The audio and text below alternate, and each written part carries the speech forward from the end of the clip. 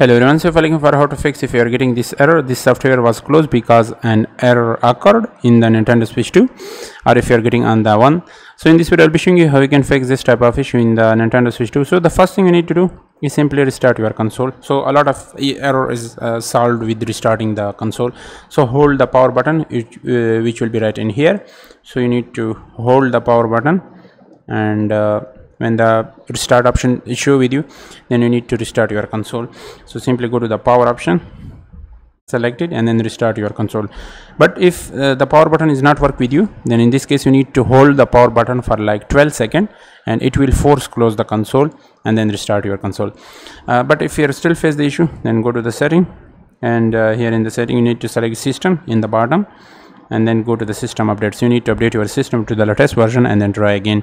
But if you still face the issue after doing this then uh, next you need to update your game. So simply select the game that you are getting this error. So for example it, it's street fighter simply uh, go to the game and then press on this button the plus button in the top right corner. So you need to click on this plus button and then here you will be able to see if there is any update available for the software you will be able to update to the latest version.